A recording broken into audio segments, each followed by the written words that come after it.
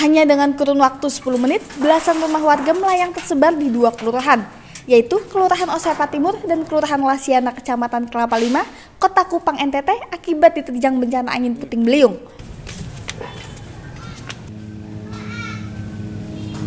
Hingga kini, warga kampung tidak berani masuk ke dalam rumah dikarenakan pihak PLN belum merespon permintaan warga yang menjadi korban untuk memutuskan aliran listrik. Akibat bencana ini, sebanyak 18 rumah warga rusak berat dengan kondisi memprihatinkan.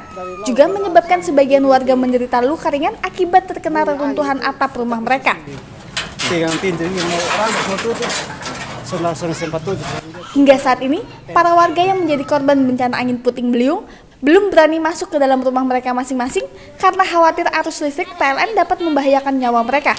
Selain rumah warga yang rusak, angin puting beliung juga menyebabkan tumbangnya sejumlah pohon besar dan merusak sejumlah perahu nelayan. Dan jendela betul tahan di muka begini. Ini kebebasan terus sambil lari masuk ke dalam, tidur di samping sana. Bertahan terus, ma ini ke darah terus.